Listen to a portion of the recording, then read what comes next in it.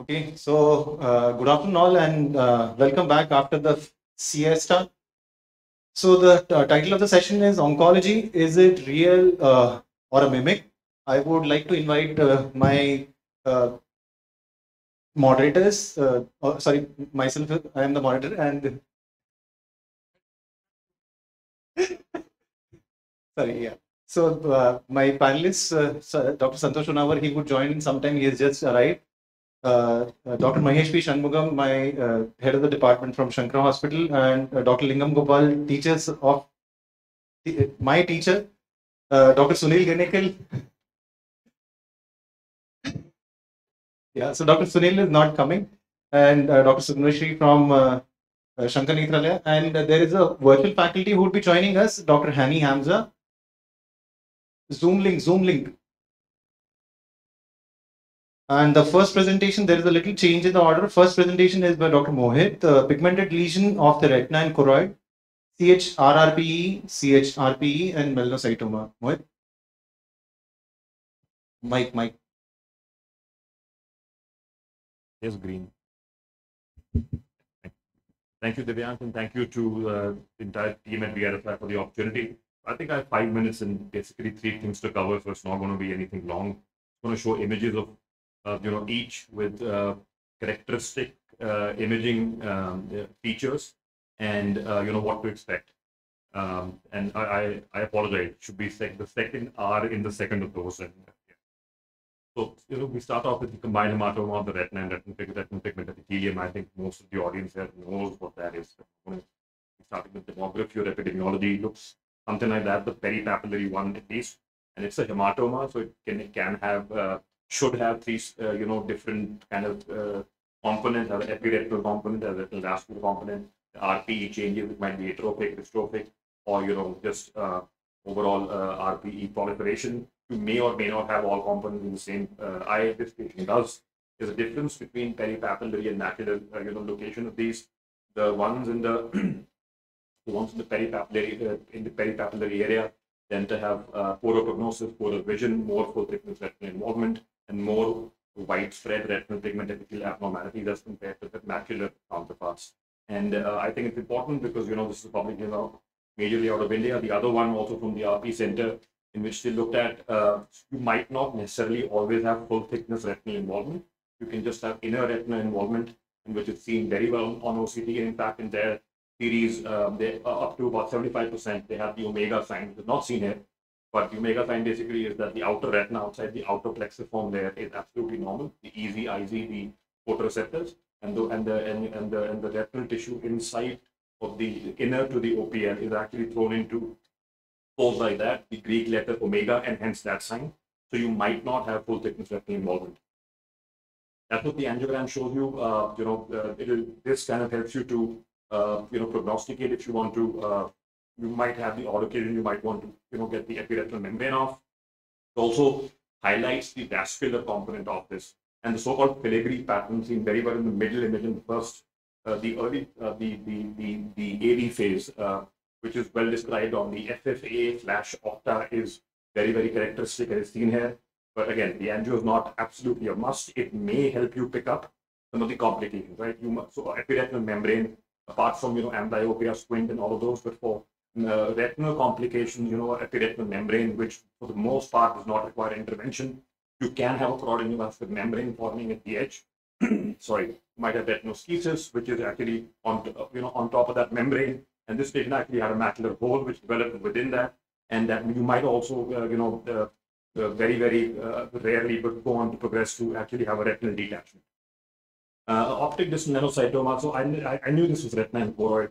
Um, I had very good case of, uh, you know, uh, a ciliary body large melanocytoma, but I'm just going to talk to you, talk to you one slide on the most commonest side of the melanocytoma, which is the optic disc. Looks very similar to, looks exactly like the, the top left image.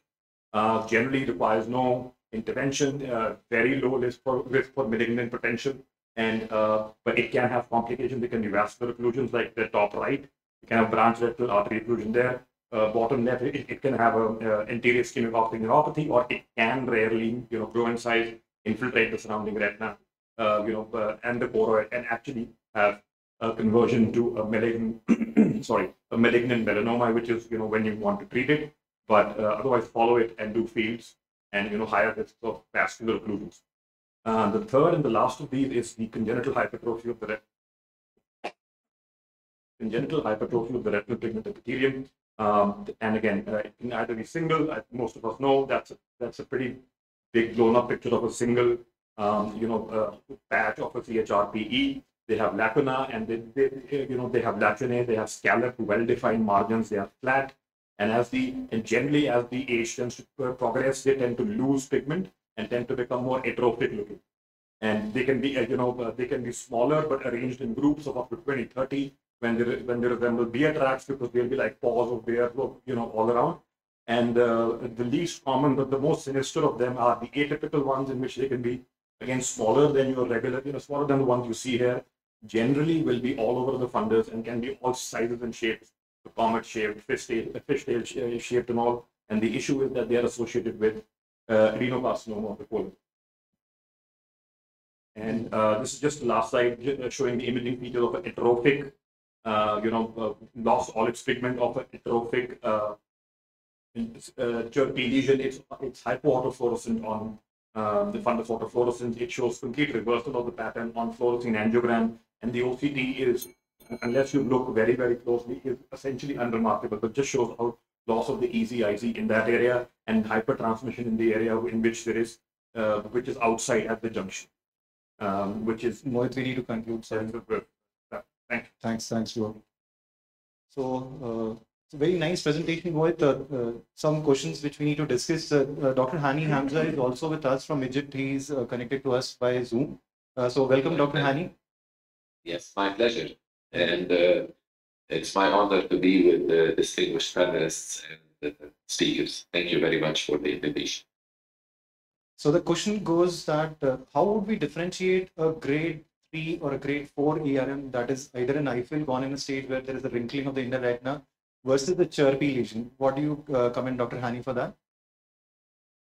Uh, again, can you repeat the question, please? So, how would you differentiate a case of a grade four ERM or yes. a very advanced ERM where the inner retina is convoluted versus a case of a CHRPE congenital uh, hypertrophy of retinal pigment epithelium and RPE? Well, I mean, congenital hypertrophy of the retinal pigment epithelium is quite a distinct entity. I mean, you can identify it very easily with the sharply demarcated edges and the lacunae.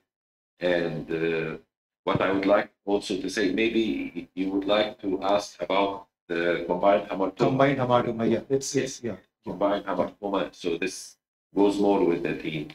I think in both of them, I mean, the age, first of all, is very important. Lack of history of trauma, so it's not a traumatic epiretinal membrane. And in both of them, you will find disorganization of all retinal layers.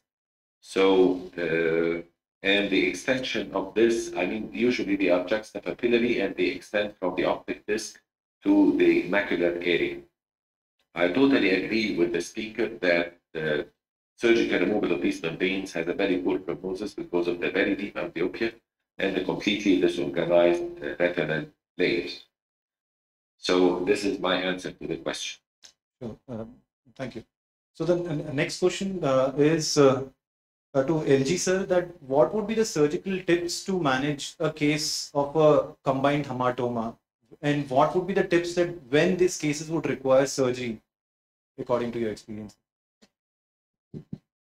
I think if, if the membrane is if the whole lesion is right over the fovea, it's very unlikely that you will benefit by surgery. But if the membrane extension is going to the fovea or the fovea is dragged to one side, then removing the membrane at least to the extent possible can relieve the traction on the fovea. It can translate into some improvement in vision. I've had at least two or three patients where there's a one line improvement. Whether the patient perceived the improvement, I cannot say, but at least you can demonstrate the improvement provided fovea is not, lesion is not sitting on the macula which is dragging the macula. Then again, you are very cautious in peeling of the membrane, not like regular ERM, but you, you peel it as much as it allows you to conveniently and comfortably peel without unnecessary damage in the retina. So the yes, mention. uh, at one point you may see the membrane going in into the retina, so that you cannot peel. So you have to identify that and probably segment it with scissors and leave it in place. So a further follow-up question to Suganeswari madam that yes sir doctor yes sir please go ahead Yes. Uh, I just would like to add uh, for cases of CHRPE that we have mentioned a while ago as well, that not all cases are pigmented, even the multiple ones that uh, bear tracks. You may have the white tracks, or what we call the polar bear tracks. So in these cases, also you have to do a colonoscopy, of course, in all cases because of the risk of colon cancer. So this is uh, one point I would like to add. And another lesion that we may not have mentioned in our talk is RPE adenoma or RPE adenocarcinoma. In these cases, we have seen three or four cases over the past few years, and they are distinguished from melanomas by the presence of hard exudates around the lesion, and the we had appearance of ultrasonography. It's different from the conventional melanoma. so uh, thank you thank you for the comments for that sir so madam what would be uh, your indications in a case of a combined hamartoma which you want to operate? And would you want to consider a complete vitrectomy or can you do away with a non-vitrectomy also or just peeling the membrane? What would be your take on that? For me, the indication for the surgery would be the age of the patient. So if the age of the patient is going to be an early individual, and I'm seeing at that point in time, I would definitely not take that patient for surgery because we know combined hamartomas don't develop so late in life. Number two, if the patient is going to have communications inside and a disorganization of the retina, which is going to be uh, the inner retinal layers are near complete, I wouldn't definitely operate the patient. And like what Dr. Elgisa said, if the location of the lesion is going to be at the fovea, or if the patient has had secondary complications like choroidal neovascular membrane, I would definitely not touch it. If it is going to be a simple epiretinal membrane with no much vascular involvement and not much involvement of the RP, the pigmentation, that again takes care. And if the photoreceptors are very good, only then I would take up the case if it is a peripapillary lesion or it is located extrafoveally. That would be my indication for operating on a combined heart. Thank you, thank you. Thank you, Mohit. Uh, yeah. I would request Dr. Kalpita if she can take up the presentation, the next one, Dr. Kalpita. So just to summarize, uh, Doc- Dr. Hani, you want to add something more? Uh, no, I guess uh, this is all for this uh, talk. It's a very nice talk and very comprehensive. We can move to the next one. Thank you. Thank- One comment I would. So melanocytoma, people can get uh, uh, mistake melanocytoma for a melanoma, but sometimes what happens is there is a peripapillary giant choroidal nevus. Along with that, you see a dark pigmented lesion over the optic nerve. So we should not look only at the optic nerve, we should look at the peripapillary region also. We may have this like slightly pigmented lesion with drusen extending as a, as a segment, which would be a giant uh, uh, choroidal nevus. So when you see a giant choroidal nevus, the lesion which you see at the optic nerve is unlikely to be a melanocytoma, though it may look darkish in color, but subsequently it will grow into a melanoma. That's something which we need to uh, think, uh, like keep it in mind. Just wanted to quickly comment on the natural history of CHRPE. It can actually evolve into uh, retinal pigment epithelial adenoma and adenocarcinoma. It can grow bigger, it can grow smaller. So there are a lot of changes that can happen in HRP and it can currently be considered as a precursor lesion for RP adenoma and adenocarcinoma. Uh, if I may Yeah, add no, just one last comment, please. Sure.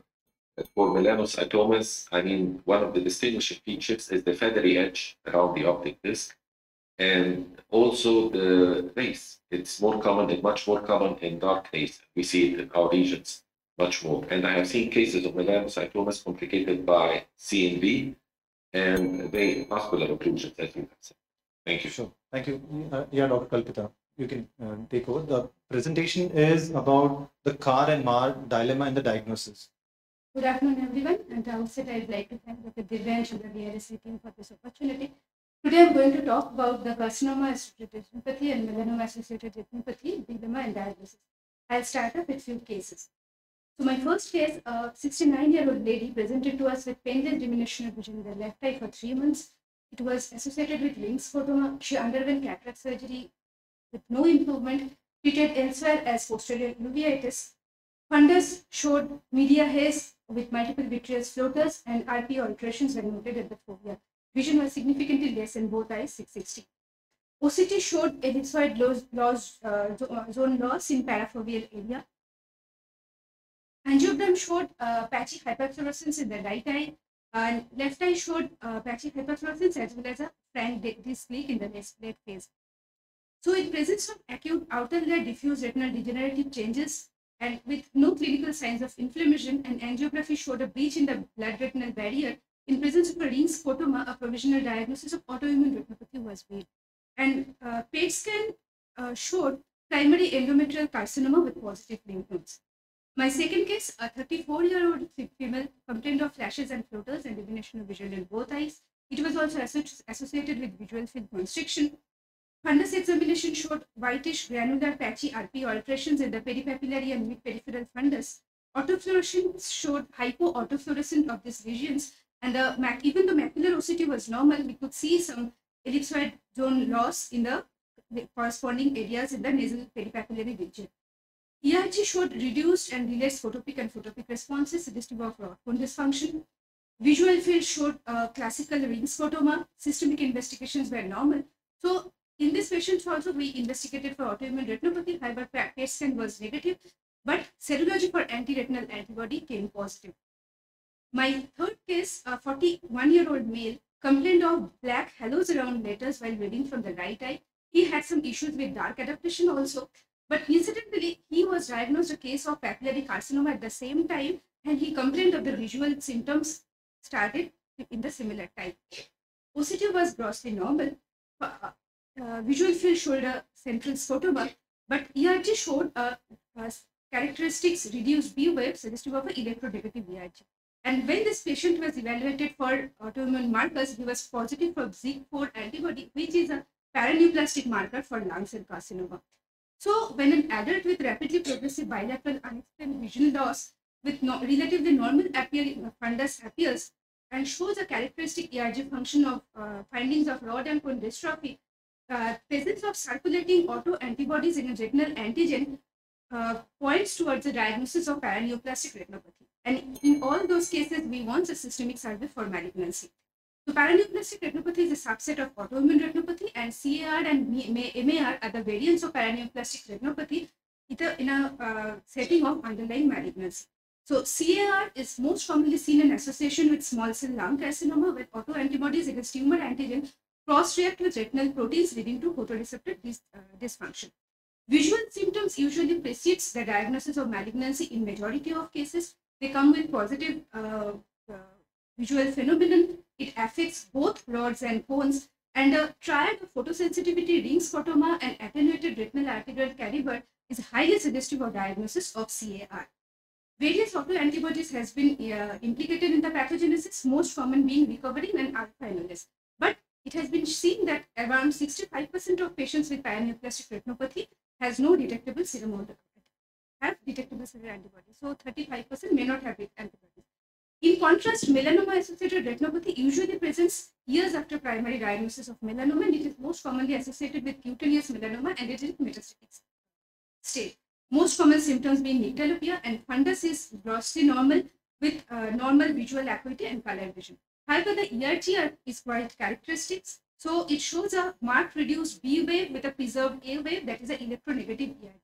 And antibodies are directed against particularly the on bipolar cell pathway. So it shows a on bipolar cell dysfunction. Anti-rod bipolar antibodies has been seen. So coming to differential, there are various other simulating conditions which can look like CAR or. Most common being retinitis pigmentosa, non-neoplastic autoimmune retinopathy, and various other forms of optic neuropathies. So uh, these symptoms of day or night blindness, positive visual phenomenon, prolonged dark adaptation, brings scotoma all point towards a diagnosis of retinal disorder. And if it can be proved with a electrophysiological study, actually we don't need any additional neurodiagnostic test. So in a setting of malignancy with unexplained visual loss, we should rule out the CNS metastasis also. This is not a metastatic disease and this is a paraneoplastic disease. So we also have to differentiate this with a hereditary photoreceptor degeneration because they are usually insidious and slow progression. Toxic retinopathy should also be ruled out. So coming to prognosis, the prognosis is not very good. If untreated, they can progress to severe loss of vision, often to no light perception, and initial initiation of therapy is important. So to conclude, paraneoplastic retinopathy are rare diseases that can be easily overlooked when the clinical examination is apparently normal. Visual symptoms can be the first manifestation of a new or recurrent systemic malignancy. Diagnosis is confirmed by presence of antiretinal antibodies and changes on ERG, and long-term follow-up is needed for any evolving malignancy in absence of a positive history. And treatment may not be effective in restoring vision, probably due to irreversible photoreceptor dysfunction. Thank you. So, um, thank you, and very beautiful cases and uh, representation and documentation which we could see. So, the points of discussion which uh, the audience would want to know is what would be the key points to differentiate a Karmar or a paraneoplastic syndrome versus an AIR? So, the first question goes to uh, Mahesh sir, whether you want to comment on. So, if you see a patient how what should i look for or what would be the red flags that i need to think about that i need to think not about a dystrophy or a degeneration but to a paraneoplastic kind of a It's the age group and the sudden onset of symptom. Usually they present with onset like late onset nyctalopia or late onset sudden loss of vision is when you would suspect that the patient may have a paraneoplastic syndrome rather than a heredomacular degeneration or hereditary retinal degeneration. Then hereditary retinal degeneration may have a family history. That's also you look for. And clinical science wise, like usually the CR, MAR in the initial stages, the fundus looks almost normal. The signs of the retinal signs, which are there, retinitis pigmentosa may not be there.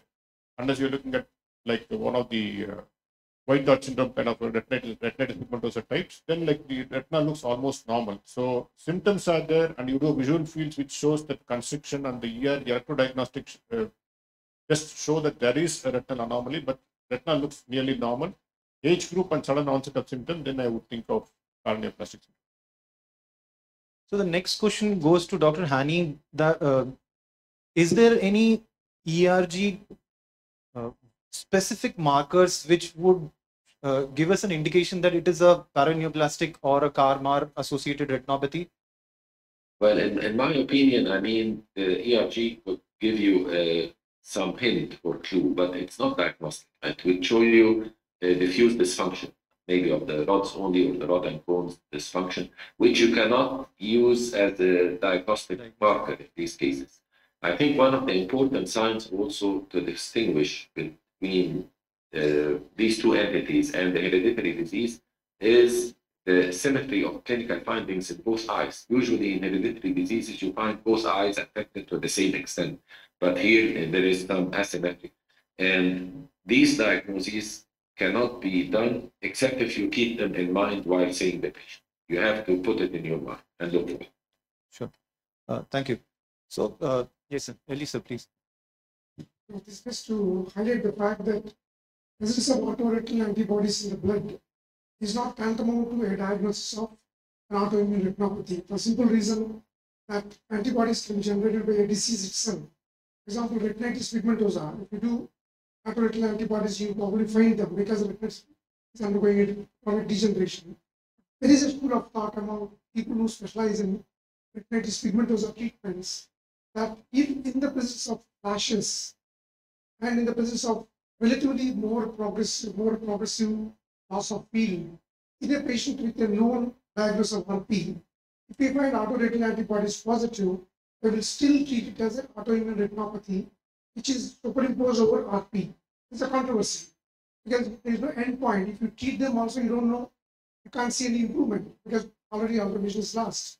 And progression is a known problem with the disease itself. We can't even stop the disease.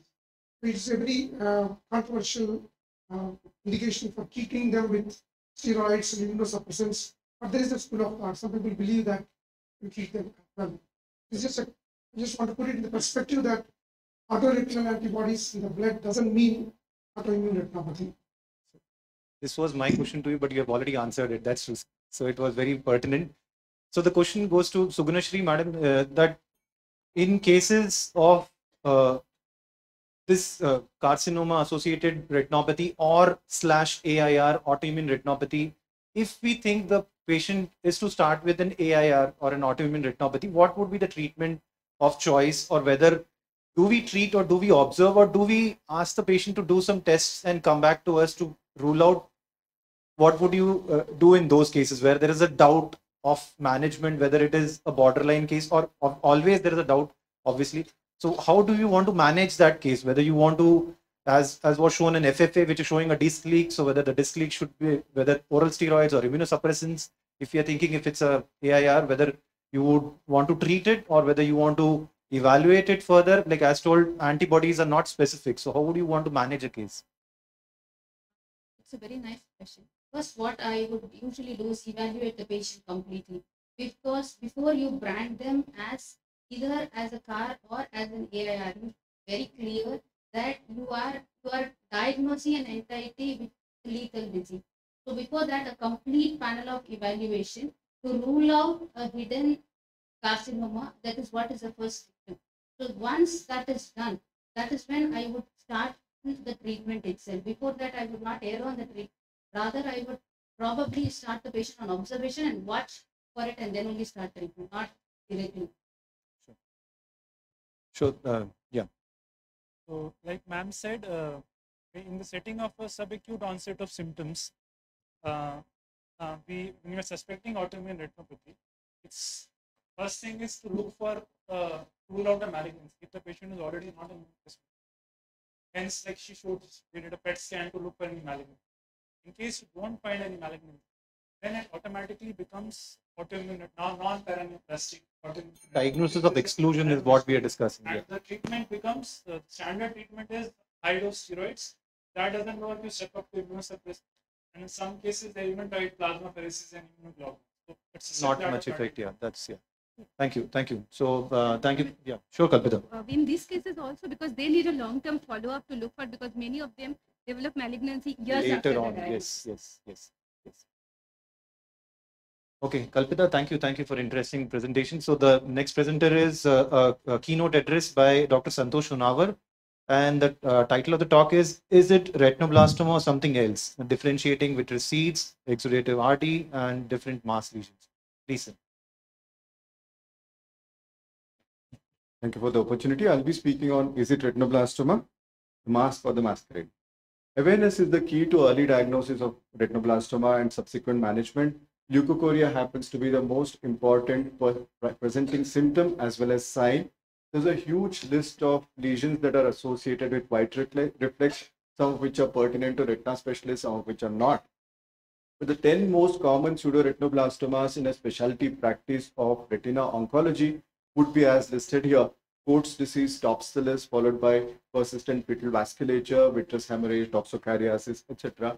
It also has geographic variation and it also depends on the age at which the patient presents to you.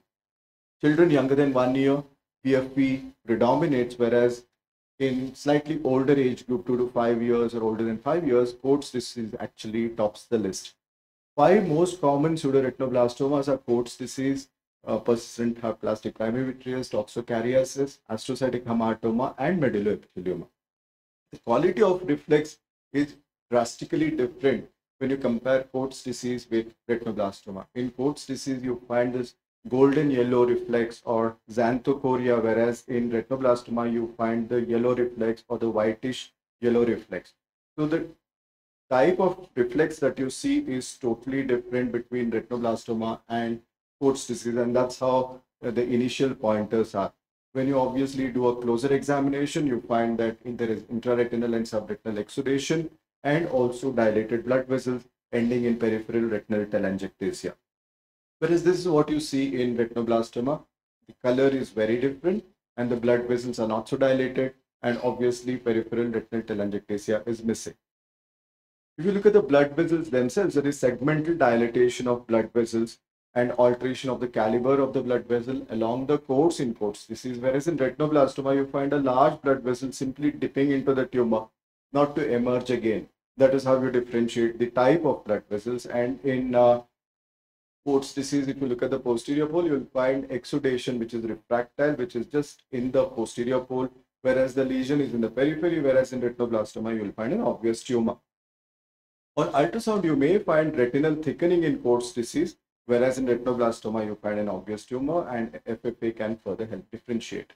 In persistent hypoplastic primary vitreous, there is relative microphthalmos. The cornea may not fit into the diagnosis of a microphthalmos, but it may be smaller than the contralateral side. That is one of the clues. And also prominent ciliary processes and posterior post-polar cataract leading to a, a, a fold.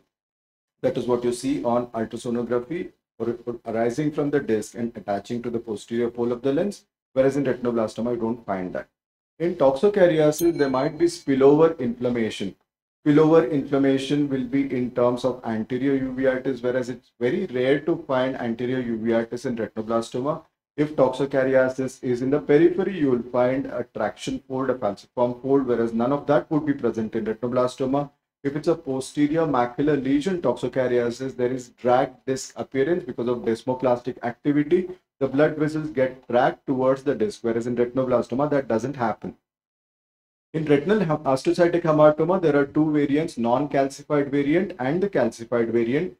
The nature of calcification dif- differs. It could be fish egg kind of calcification in astrocytic hamartoma, whereas in retinoblastoma, it is more solid. But sometimes there are lesions which this obviously is astrocytoma, whereas this it may be dif- difficult for you to differentiate it from a retinocytoma and astrocytoma. Of course, this patient had other features of tuberous sclerosis that helped us clinch the diagnosis. Medulloepithelioma is a peripheral ciliary body tumor. It's an embryonic tumor. So patients have a lens coloboma or a zonular coloboma that is associated with it, whereas in retinoblastoma that doesn't happen. Also, a posterior subcapsular cataract or a retrolental non-vascularized membrane as you see here with zonules missing there or a retrolental vascularized membrane are features of medulloepithelioma.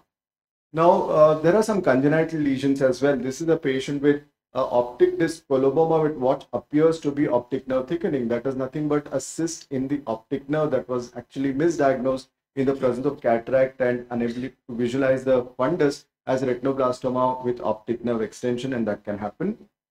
Coming to seeds in the anterior chamber, these are depository anterior chamber seeds that are typical of retinoblastoma. This is infiltrative anterior chamber seeds typical of retinoblastoma. But retinoblastoma can also simulate uveitis. While this is very typical of retinoblastoma, sometimes this can be confusing because there is a leveled hypopyon there.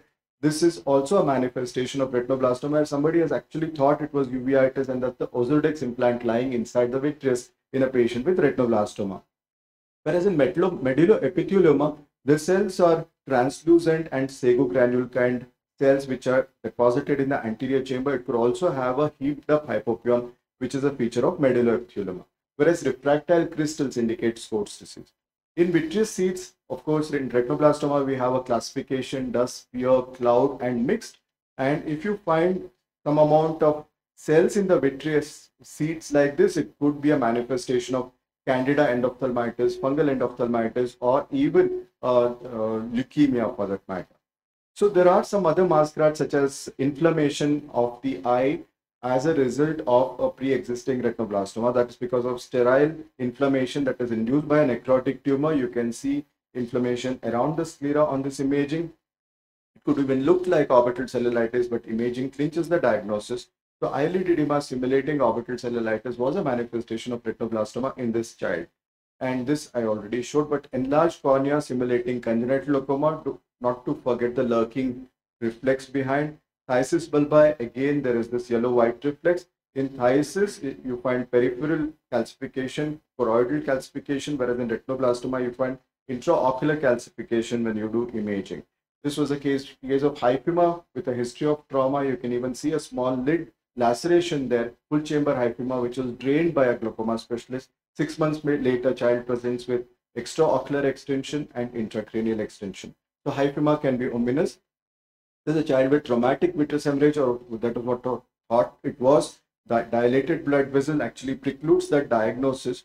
Somebody did a vitrectomy and then a scleral buckle. Now, on top of the buckle, you find a creamy lesion, and now even posterior to the buckle, the lesion has advanced. This was an atypical variant of uh, old retinoblastoma, an older child, diffuse infiltrative retinoblastoma, where you don't find a mass at all.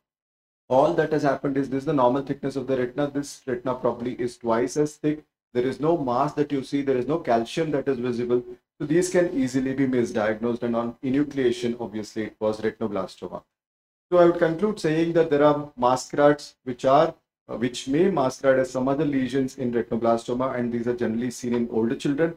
Diagnosis is clinched by a good examination, the anesthesia, ultrasound B scan, MRI, and CT scan. You must be uh, cautious to rule out retinoblastoma and avoid inadvertent intraocular surgery, and that is the point to note. Thank you so much. Uh, thank you, sir. Very impressive presentations with a uh, lot of images which are very eye catchy. So the question to you is, sir, I am doing a surgery, and when I have sent the uh, report for a, or, or the vitreous biopsy for HPE or or culture, we have found out that it's a retinoblastoma. What should be my next action or next plan of action? Being all VR surgeons over here, what is your advice? I think there is a presentation on that topic, right? Next.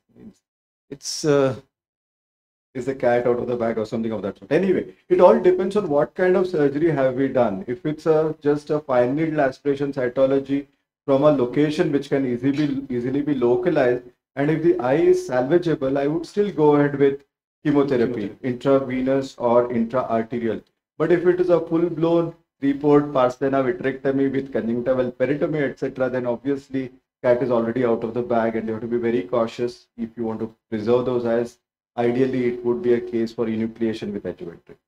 That's that's very true. Thank you, sir. Thank you. So the next question is, uh, uh, how would be the response of seeds be assessed? Uh, so Dr. Suganeswari, madam, would you want to take that? So when we are treating a patient of ret- uh, retinoblastoma with seeds, and once either we have given an intraocular or a chemotherapy, how would we look for the response, or how to grade or either decide whether the seeds are responding, not responding, and what would be the management?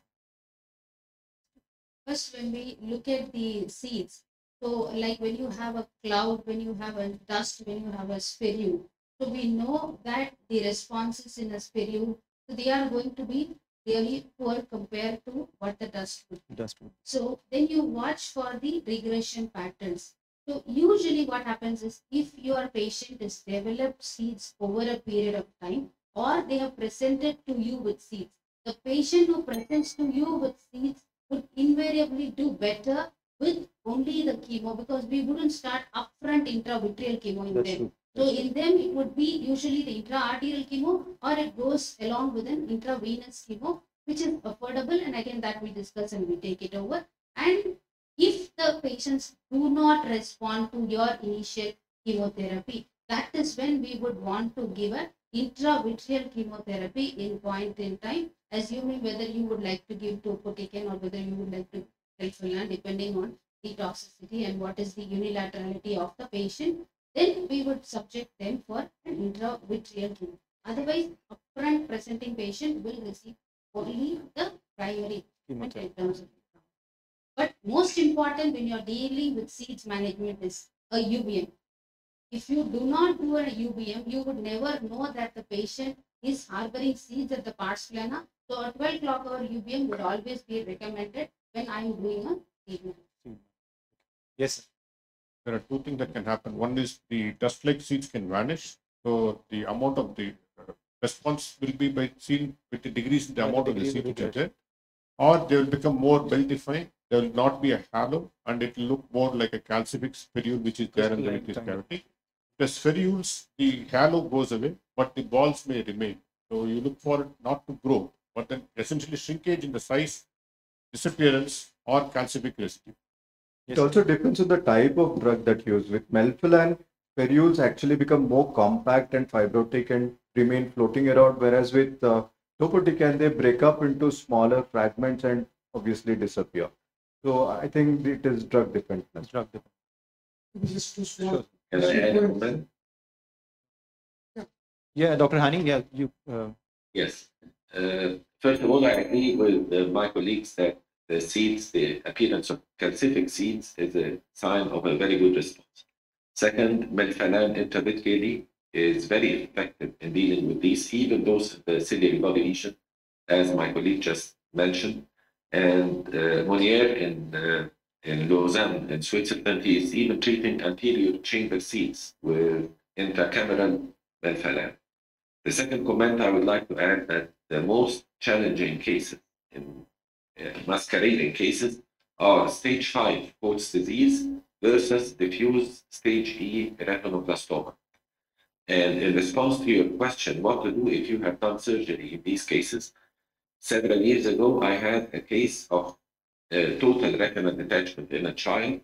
He had ultrasonography twice, MRI, CT, all of them were pointing to a diagnosis of Coats disease. So I went in, I drained the subretinal fluid, but for some reason I decided to take a sample of this subretinal fluid and it proved to be harboring malignant cells. So what we have done is enucleation, external beam irradiation to the orbit, and chemotherapy. And this has been 10 years ago and he's doing well. Thank you, Dr. Jaime. Sir, you want to comment? I think if you have time, then there- just one point that uh, is importance of documenting with photography is very vital when you want to compare the improvement, especially when you're talking about multiple lesions and seeds. It's very useful to have compare pictures from one review to another review, and also the importance of the same surgeon following up the patient. As the visual impression Visual also is there to help you to aid to decide whether it's improving or not. The third point is that if this patient over a period of time develops posterior which is detachment, suddenly you will find that the seeds all collect in one place. It is apparent worsening, but actually you will know by the overall picture, it's just apparent worsening because everything is collected in one place. One thing you can Sure. Thank you. I would request uh, Dr. Vishal to please take and uh, please finish your question, ma'am. Yeah. So when could we take up a case which has uh, undergone brachytherapy for rhegmatogenous retinal detachment repair? How soon could we take up the case for routine vitreous surgery? Retinoblastoma case. Um, I think the, obviously the sooner you fix the retina, the better. You want, you want to wait for six months period, eye is gone. So there is a school of thought now that if you have treated the patient adequately, even if there's a residual tumor in the eye, if you want to salvage that, there's only seeing eye and the patient, the parents are definitely not willing to recreate such an eye. Remove the, uh, the residual tumor, vitreous seeds, with of course intravitreal infusion of melphalan throughout the surgery then the end of the surgery, put in silicone. I've had one patient at least on three patients where I had to operate when the tumor was still considered clinically active. This is not just calcific residue, but there is still active tumor present. Then fortunately, all three are doing quite well without any systemic spread. But these are patients where you need to tell the parents the risk of uh, extraocular spread before you operate on them. Uh, thank you. Thank you, ma'am. So the next presentation is the uh, great masquerader, which is uh, yet another lymphoma diagnosis and uh, treating it. Thank you. Dr. Thank- Vishal. Thank you, Divyansh. Uh, thank you, VRSI, for the opportunity. Uh, my topic for today's presentation is Great Masquerader Primary Central Nervous System Lymphoma, the ocular variant. I have no financial disclosure. The objectives of my presentation will cover four aspects of lymphoma. First will be related to nomenclature.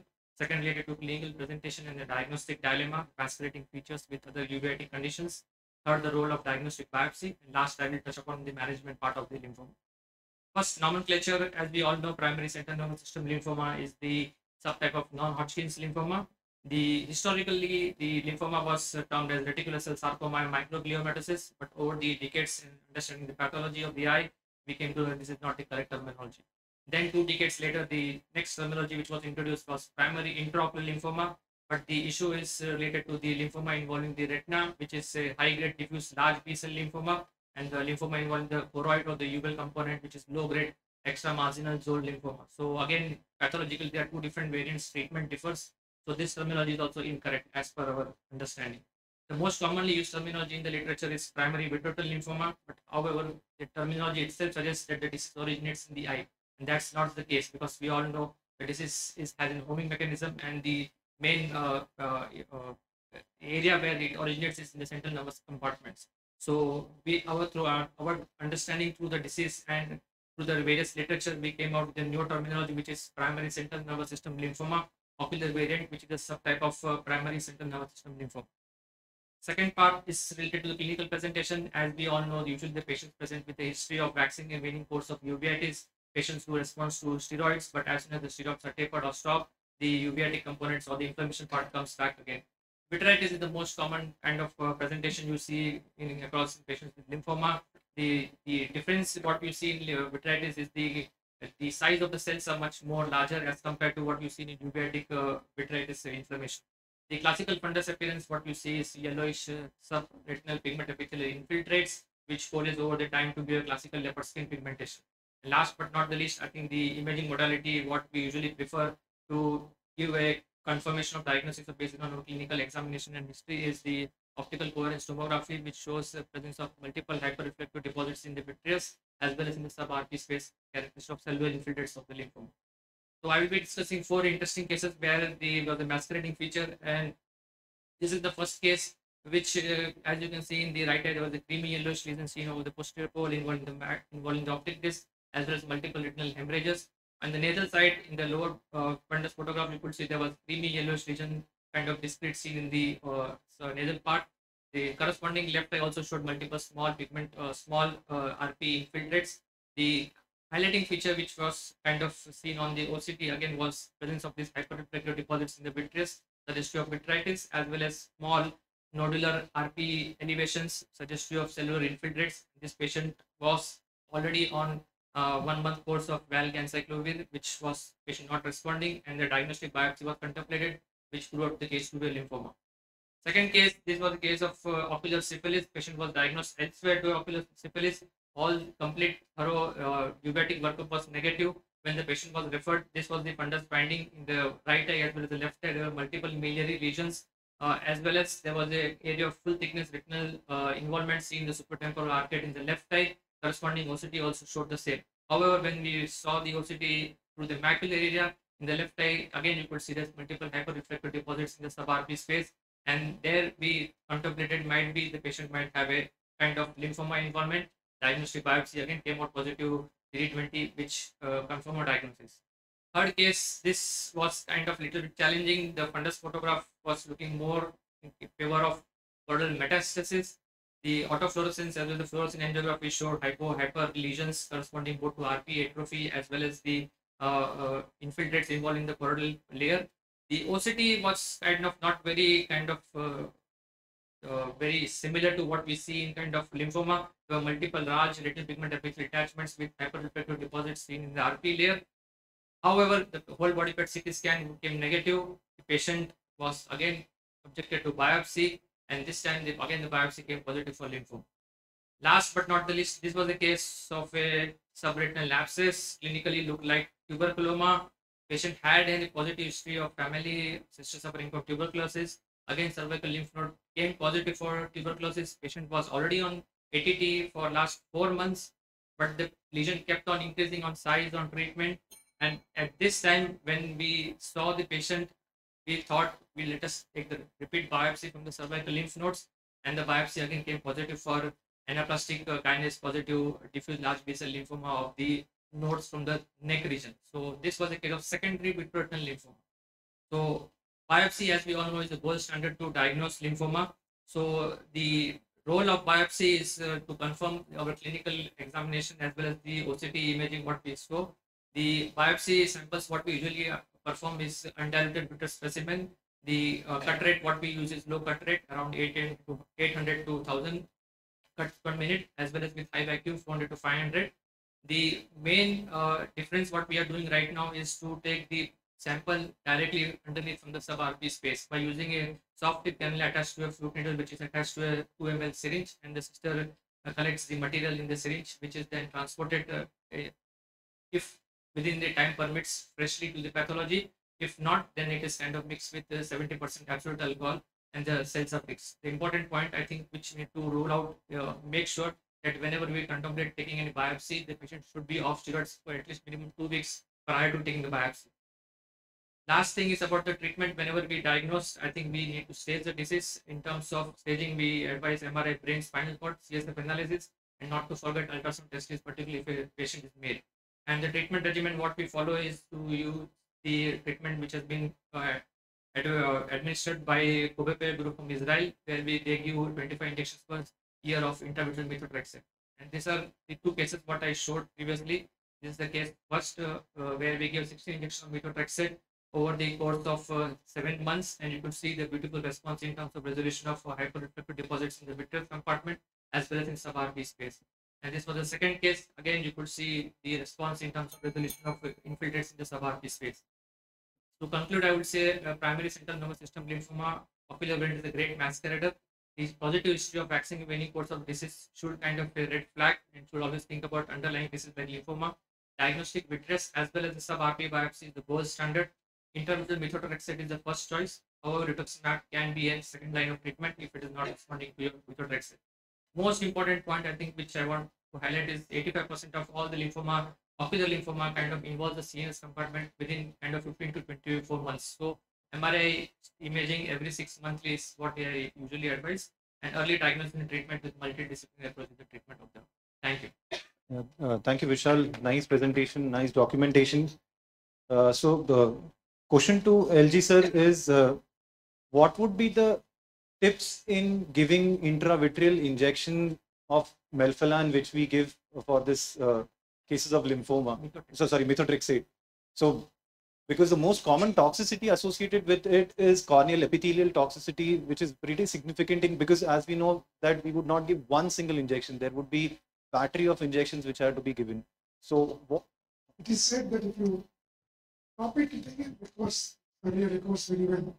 That may not be the very uh, important thing to stop injection. But after the first one month, you're anyway going to give once a week. Usually the carrier tends to record between the injections.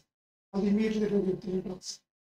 You know, beyond giving a lot of lubricants, what else you can do? You stop the drops, you're not very sure. to avoid the spillover, the means what That's pur- of those precautions you always take. You don't want it to spill over into the, back all yes, that. yeah, Other than that, in spite of that, people spite, reported yes, yes. zero dots. But Yes. Beyond giving lubricants, I don't know what else. Uh, so the question, do. Can I add one point? Sure, sir. the sure, sir. Because There's at least one report which says that fixing these cells, uh, which is alcohol, is not the best thing to do. They are looking to lymphoma cells. They, they have a solution called a HOPE E solution, which is what you're, RPMI is not Yeah, available. which is what you're supposed to use, not alcohol, because with this, the loss of cells in morphology is very, very high. So the question to Mahesh sir would be that what would be uh, the red flags when you see a fundus would give you a, a hint that it can be a lymphoma or my differentials can be one of lymphoma, either vitreal or uh, uveal, depending upon the case. Starting with the history onwards, usually these patients have had a long history of being treated with uveitis and history of recurrent uveitis. Fundus wise, yes, there could be an asymmetric vitreous involvement in the form of vitreous uh, cells, which can be there. What is usually the giveaway is if there is subretinal deposit. So usually a subretinal yellow white leopard, leopard, leopard spot pigmentation, like what uh, Dr. Vishal showed in the first case on the nasal side. If you see that, that is that is an indication. And in the presence of vitreous, yes, it can be difficult to make out, but sometimes if you look at that, that would be. And OCT is rather characteristic. Uh, many characteristic, characteristic features are there which should make a suspect. So the thickening of the photoreceptor layer, the sub-RP infiltration, thickening of the retina as well as the vitreous cells. So if you see these, then you would suspect lymphoma. And in the in the presence of all this, and sometimes you do a biopsy and then still not conclusive, sometimes I have resorted to a therapeutic challenge. So in one eye, I have injected a methotrexate to see if the patient responds. Then you suspect that it's likely to be lymphoma. Then you go aggressive on proving it histopathologically and then go ahead with it. Extension to this, can I ask this question to the panel? You have a one-eyed person and has it's treated as uveitis, but you suspect it could be lymphoma. And all anti-uveitic treatment has been has failed. And patient is refusing biopsy because he's worried about Being losing the eye due to the surgical complications of biopsy. What would you do? Would you do methotrexate injection and see the response? Uh, Can I add a comment, please? I don't think we should treat it without confirmation of diagnosis. There are, If they don't agree. I mean, you'll have to Because convince, they- if they, if we do biopsy, it is negative, right, we get back to square one. right. So if you, I mean, the kind you of biopsy that Vishal showed, yes, CSF tap will be negative, MRI will be negative, but the crux is in taking subretinal infiltrate. That material, if you are able to take it from a lesion which is slightly in the mid periphery, etc., then that is one. And second is the role of liquid biopsy from aqueous, aqueous and vitreous is coming up. Gene-based diagnosis, PCR-based diagnosis. Yeah. I think retinochoroidal biopsy uh, might be the one the way you can It's These any one individual night- step, if somebody is not willing, Yeah. without it is Yes. judged, I mean, Yeah. it's, it's judgment ultimately, but you're justified in Yes. giving methotrexate as a trial. Yeah, Dr. Hani.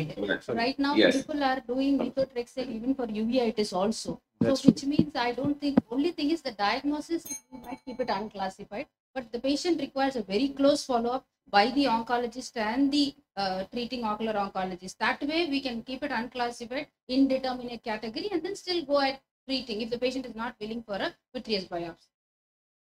Yeah. Okay, Can last- I add a comment, please? Yes, sir. Please, Yeah. sir. Yes. Uh, first of all, uh, it's a great talk by my colleague. And uh, second, the average time for diagnosis of optic lymphoma in literature is about 36 months. So these patients come and go being diagnosed as chronic uveitis for maybe two or three years, and they receive a large dose of steroids. This is one point. The second point is when you do a vitrectomy in these cases, I usually start on air.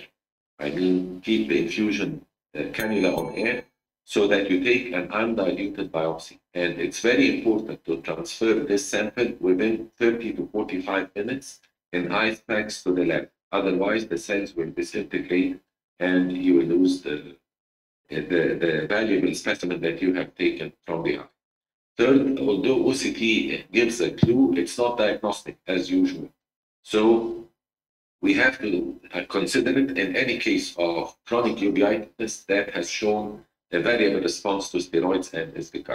Thank you.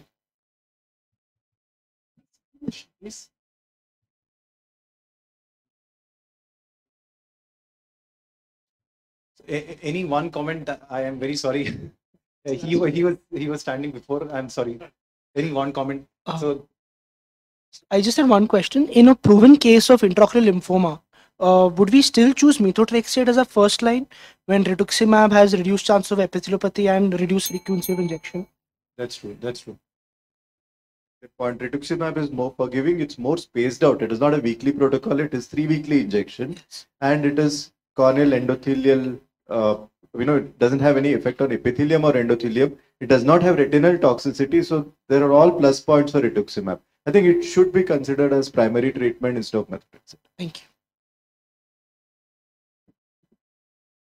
Okay. So uh, next would be uh, a paper presentation by uh, Dr. Uh, Kushal Agarwal. So ultra low dose uh, radiation therapy, boom boom, or fine needle Dr. I think we are doing before.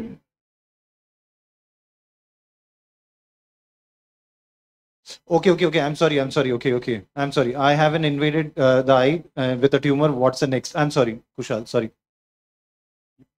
Thank you, VRSI, for giving me this opportunity. So today I'm going to present uh, management of extraocular extension in patients with the retinoblastoma and uh, uh, uveal melanoma. So I will start with first retinoblastoma. I would like to start with international retinoblastoma staging system, where stage zero is patient treated conservatively with any form of treatment like local therapy, intraarterial chemotherapy, intravitreal chemotherapy, but without enucleation. Stage one is patient treated with nucleation, but on histopathology, everything is fine. Stage two is eye enucleated with high risk feature on histopathology. Stage three is orbital retinoblastoma, and stage four is metastatic disease. So I will discuss stage two, three, and four management in my further slides. I will start with the stage two disease. So in stage two disease, on after enucleation, histopathology shows the high risk features. The high risk features which are widely accepted are post-laminar optic nerve infiltration, involvement of optic nerve transection masking, extrascleral tissue infiltration, and massive choroidal invasion, which should be greater than 3 millimeters. So these are the widely accepted high risk features on histopathology. So uh, Dr. Swati Kaliki has published an article on 51 patients with post-enucleation high-risk features and all the patients were treated with adjuvant standard dose chemotherapy using vincristine, etoposide and carboplatin. And none of the case developed metastasis or death during mean follow-up of 66 months. So adjuvant treatment in these cases with the standard dose chemotherapy is useful. Uh, Dr. Santosh Honavar has also published on untreated patient with high risk histopathological features and they notice metastasis in 24% of the cases, often leading to the death. So any patient showing high risk features should be treated with the standard dose chemotherapy for six cycles. Stage 3 is the orbital retinal disease, orbital retinoblastoma. Uh, it can involve orbit, can involve optic nerve, can involve full thickness sclera, or can have extrascleral extension. These all are categories classified under orbital retinoblastoma, which is stage 3. So any patient with stage 3 or stage 4 retinoblastoma should undergo detailed physical examination, including palpation of the regional lymph nodes. And if lymph nodes are palpable, then fine needle aspiration biopsy of the same is uh, indicated. MRI brain with and orbit with and without contrast should be done. Chest X-ray, ultrasound abdomen, bone marrow biopsy, CSF cytology, and PET scan if metastasis is suspected. This so all patients should be thoroughly evaluated. This is the treatment algorithm uh, for orbital retinoblastoma. All patients should receive high dose systemic chemotherapy every three weeks, followed by surgery, enucleation, or exenteration after six to nine cycles if tumor shrinks followed by external beam radiotherapy using 45 to 50 gray to the orbit, and followed by completion of 12 cycles of high dose systemic chemotherapy. And all patients should be uh, followed every six monthly with imaging and bone marrow biopsy at least for three months after treatment. Coming to metastatic disease with stage 4 disease, this is in metastatic retinoblastoma stage 4A is regional metastasis or distant metastasis not involving central nervous system. While stage 4 disease can involve CNS directly via extension, can be part of trilateral retinoblastoma where bilateral retinoblastoma is associated with pinealoblastoma or distant metastasis can involve CNS. This is the one recent article published last month. Uh, they described management of stage 4A and stage 4B retinoblastoma using four cycles of high dose chemotherapy with vincristine etoposide. Instead of carboplatin, they use cisplatin and cyclophosphamide. And if the tumor showed more than partial response, one more cycle of high dose chemotherapy with thiotepa and etoposide and carboplatin were given along with autologous stem cell transplant. And any residual tumor post chemotherapy received radiation.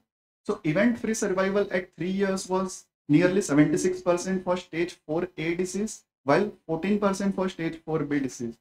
So they concluded for stage 4A therapy was highly effective, but for stage 4B, still more effective therapy is required. Coming to uveal melanoma. Um, so uveal melanoma with extraocular extension, this the case was published by the Ares et al. Uh, in figure A, we can see one uh, mushroom-shaped lesion which was diagnosed as choroidal melanoma and was treated with plaque brachytherapy. After 18 months, tumor showed regression, but when they did ultrasound, it showed extraocular extension and the eye was enucleated. So this case shows the also that uh, ultrasound can be very useful in diagnosis extraocular extension of the retin uh, choroidal melanoma. Um, Dr. Shields has published uh, on uh, plaque radiotherapy for management of uveal melanoma with extraocular extension. So 17 eyes of 17 patients with melanoma with less than 3 millimeter thick extraocular extension were treated with plaque radiotherapy.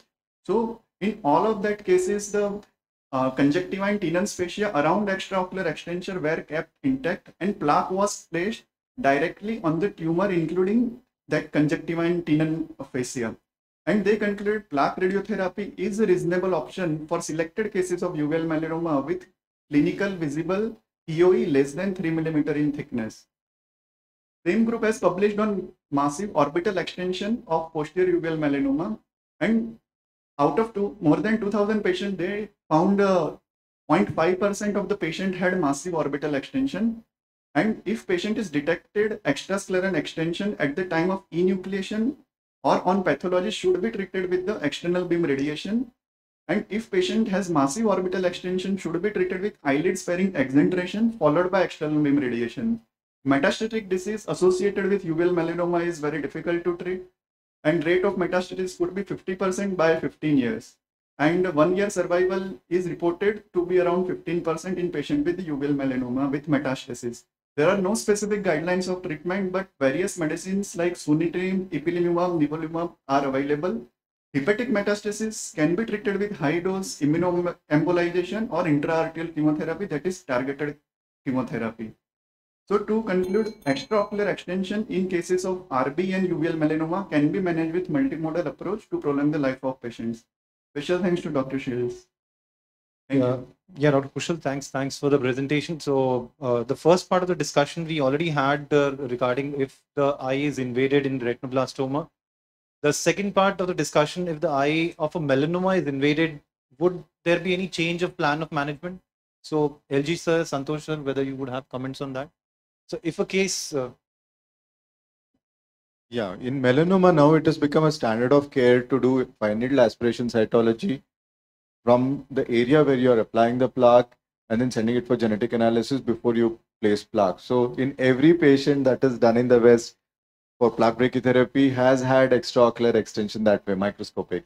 So there is no additional precaution necessary if you're just done a fine needle aspiration cytology in a patient with melanoma. But again, if you've done a full-blown surgery and if you suspect that the orbit is already seeded, then since chemotherapy does not work in melanoma, the only option would be extended enucleation or exenteration, followed by radiation.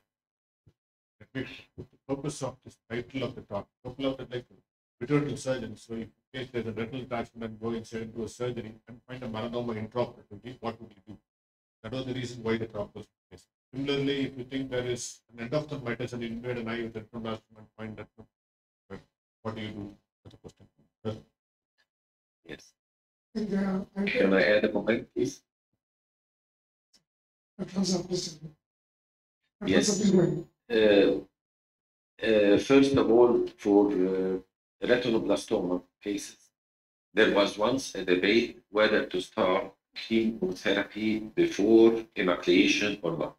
But this has been settled that you should do enucleation first because if you start chemotherapy first, you will mask the high risk criteria that necessitate post enucleation uh, chemotherapy. So, this is one point. The second is for metastatic disease for choroidal melanoma. Recently, uh, a drug has uh, come into the market, which is tebentafusp. And tebentafusp has prolonged the survival of patients with liver metastasis up to seven years. And it relies actually on binding on one side the melanoma cell and bringing the T cells of the patient, binding them on the other side to destroy the tumor and but it works only in patients with HLA uh, 207 uh, positive, which is uh, about 50% of cases only. And there are now clinical trials going on to try tebentafusp in patients with large choroidal melanomas, even with brachytherapy, and those who have developed enucleation to reduce the incidence of metastasis over five years. Thank you. thank you, Doctor. So, sir, you wanted to, uh, So about if you open the eye and find an RD yes, having harboring a melanoma, I'd probably ignore the RD from the perspective of decision making, whether to enucleate the eye or to try and salvage the eye. You, you're inside the eye, maybe you can always put in oil if you cannot, if you have seen the tumor and you don't know what to do, in oil and fix the retina first and evaluate what is the size of the tumor. The diffuse infiltrative melanoma, something which you would feel normally even without the RD would probably enucleate. You probably enucleate the eye, but not in the same sitting because you didn't take the consent for the preservation. You have to do it in another sitting. But if it is salvageable eye, even with oil in the eye, you can do brachytherapy, no harm done. So right. your decision of managing the melanoma is probably outside the diagnosis of retinal detachment. So one more uh, question following to this is because right now we being VR surgeons, uh, endoresection is in vogue. I was discussing. uh, like I, I, I add to Dr. Gopal's. So if there are two situations when you may be doing a vitrectomy. One is if there's a vitreous hemorrhage or when there's a retinal attachment. If there's a vitreous hemorrhage associated with melanoma, then there is a likelihood it's necrotic is spread into the vitreous canal. So those eyes may most likely need an enucleation. If you've gone inside and suspect a mass lesion, then what we can practice is take the vitreous specimen and send it for cytology. Those the sclerotomies in future and try to do cryotherapy, triple series cryotherapy, and wait for the histopathology. Once it comes to be a melanoma and is a diffuse melanoma, then you would probably enucleate it. So I would probably not like, uh, like open up the connective over the sclerotomy sites, leave the uh, conjunctiva there and enucleate a modified enucleation. there is a controversy whether you want to follow it up with uh, radiation or not. So radiation probably may not help much in the melanoma which is gone the orbit. But if it's a retinal detachment, and like Dr. LG said, if it's a localized tumor, to either fix the retina by doing a drainage ectotomy and aspirate the fluid not with the fluid, but into a syringe so that there is no spillage of the cells onto the eye, and then reattach the retina and put in oil, or leave it alone, close the eye, and then send it for subsequent bracketing. Sure. Uh, thank you, uh, Madam. Okay, uh, so the next presentation would be by Dr. Suganeswari, and the title of the talk is uh, Vascular Tumors and Anti-VEGF. So uh, just till the time Madam is arranging, what would be the uh, overall opinion for doing a vitrectomy for an endoresection? Yes, no, in one word. Only post brachytherapy if there is a toxicity which So one word. One word. One word. Yes, no. No. Uh, How's Hani- that getting married? No, Yes. yes, after after gamma knife irradiation of the tumor, not as an only treatment. So two adjuncts to it. So yeah, thank you, sir. So actually speaking, uh, like endoresection is again, we should have a dialogue with the patient, what the patient wants, an eye salvage or an eye sacrifice. If they want a salvage, then we have to do all the multimodal treatments, like you do the gamma ray and then you do it, or you do the external beam radiation and then do the uh, your uh, vitrectomy with endoresection, or the option of plucking it up and then doing. So all these modalities will follow if the patient wants the eye and depending on how big is your tumor. Because you Yes. shouldn't go into phthisis after you do the surgery. Answer yes or no. Man. I am being diplomatic. No, no, no. Answer is yes or no. that's why I didn't. That, that's why I didn't wanted any adjuncts. Okay, fine. Carry on. All Thank you. oncologists are diplomatic, you know. Thanks, thanks, man. So, a warm good evening to all of you. And I would like to thank Dr. MPS sir uh, for having us here today. It's a great learning experience and the hospitality which has been shown is amazing. Thank you, sir. And it's a very great, good organizing team. So coming on into the topic of vascular tumors and anti-VEGF query. I'm also wondering why this query was there. But then, yes, I want All the titles in this session are, Are- aimed from the point of uh, the. Okay.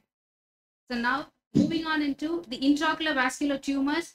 So what do we have? Retinal capillary hemangioma, retinal cavernous hemangioma, circumscribed choroidal hemangioma, retinal arteriovenous malformation, retinal vasoproliferative tumors.